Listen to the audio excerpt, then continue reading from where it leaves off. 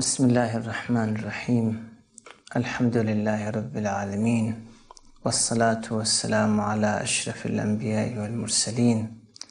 حبيب قلوبنا محمد وعلى أهل بيته الطيبين الطاهرين. إلهي لا تؤدبني بعقوبتك ولا تمكر بي في حيلتك. المؤمن في مثل هذا المقطع عندما يقف بين يدي الله عز وجل هناك حالات ينبغي أن يعيشها. يعني كل مفردة من المفردات التي يتحدث بها المؤمن لها انعكاس على ذهنه لها تأثير في قلبه. من هذه الأحوال التي ينبغي أن يعيشها وهو يتضرع بين يدي الله عز وجل هي حالة الإقرار بالذنب. يعني عندما الآن يتحدث بين يدي الله عز وجل قائلا إلهي لا تؤدبني بعقوبتك. هنا العبد كأنه يقر بأنه مذنب عاصٍ. متجرئ على ربه هذه حالة الإقرار هي حالة محبوبة عند الله سبحانه وتعالى. ولذا ورد في الأخبار الشريفة والله كما عن أبي جعفر أن الباقر صلوات الله عليه. والله ما ينجو من الذنب إلا من أقر به.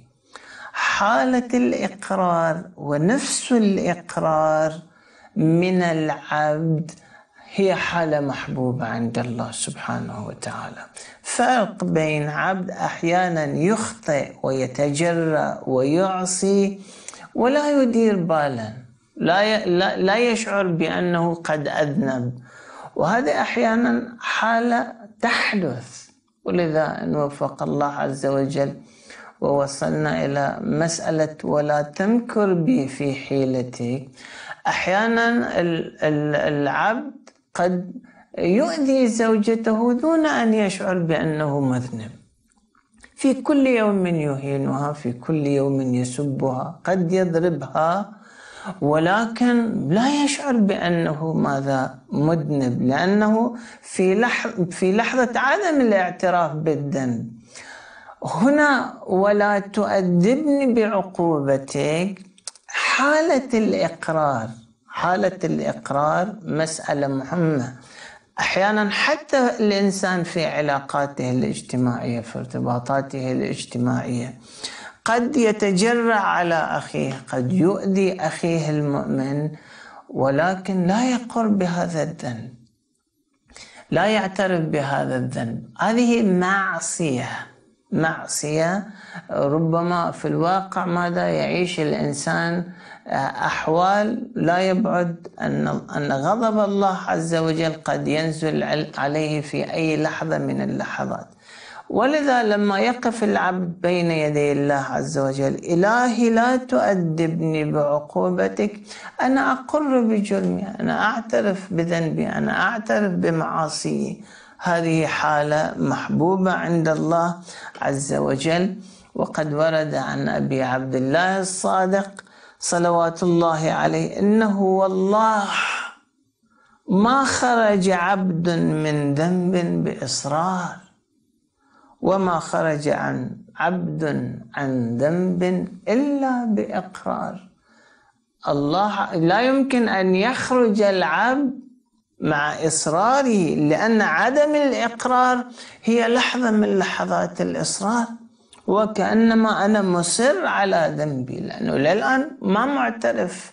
متى الإنسان يأتي بالاعتذار لأخيه المؤمن؟ عندما يشعر بأنه قد أذنب في حقه وعندما يشعر أن لهذه الذنب عواقب لهذا الذنب عواقب ولذا يأتي ويطلب ماذا؟ السماح من أخيه المؤمن.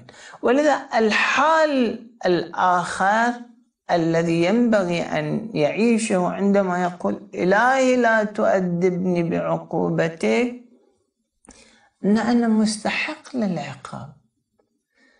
بل ربما المؤمن حين فعلا يقف ويدعو بهذا الدعاء. إلهي لا تؤدبني بعقوبتك. هو الآن في هذه اللحظة ويستذكر تلك الذنوب وأن الله عز وجل لم ينزل عقابه في تلك اللحظة التي أذنب فيها. العبد كان مستحقا للعقاب في حينها في حين المعصية.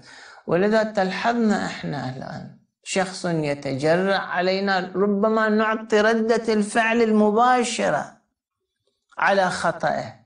تجد انفعالا منا تجد غضبا ربما تجد البعض تمتد يده بشكل مباشر. هنا في هذه اللحظة لحظة يقف عندها العبد. إلهي لا تؤدبني بعقوبتك. مع أني كنت مستحق لهذا العقاب وأنك لم تعجل علي العقوبة في حينها. وأنا مستحق هذا الحال. ينبغي أن يعيشه المؤمن. ولذا ورد عن أبي عبد الله الصادق صلوات الله عليه أنه قال من أذنب ذنبا فعلم أن الله مطلع عليه إن شاء عذبه وإن شاء غفر له. غفر له وإن لم يستغفر. هذه حالة الشعور بأنه مستحق للعقاب. هي بحد ذاتها في الواقع ماذا؟ بمثابة التوبة وبمثابة الرجوع إلى الله سبحانه وتعالى. إذا حالة الاعتراف هي حالة ينبغي أن يعيشها المؤمن بل في الواقع هي ممكن أن آه، تجعل ذكر من الأذكار الباطنية المستمرة. يعني ممكن الإنسان في مشيه في ذهابه في أيابه يستشعر هذا الحال.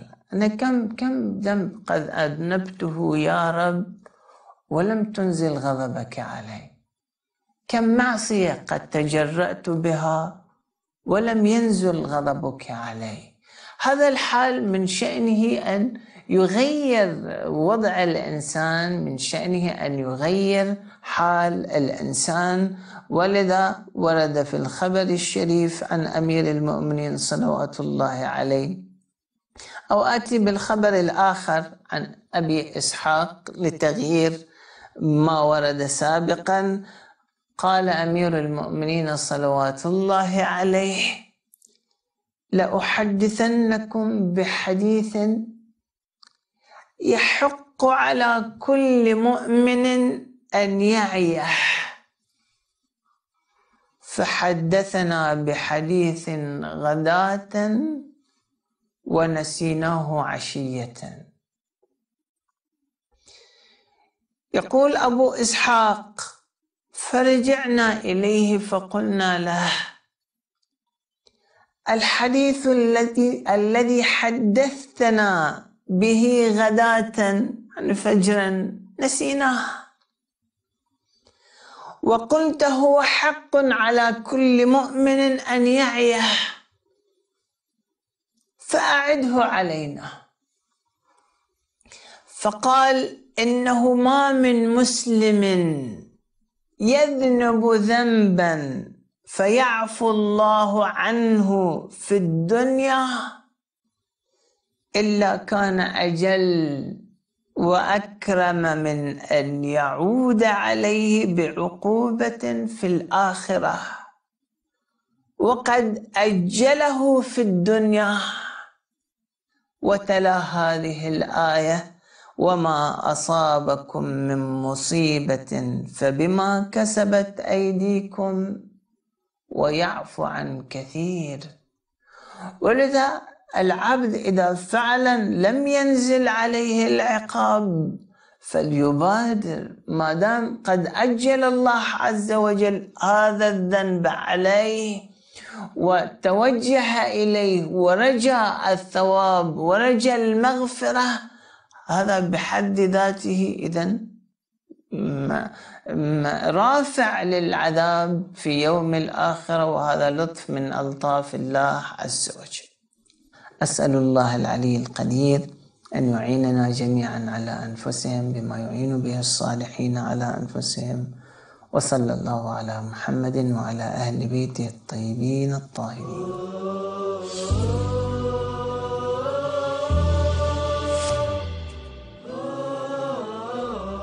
I'm not Anna.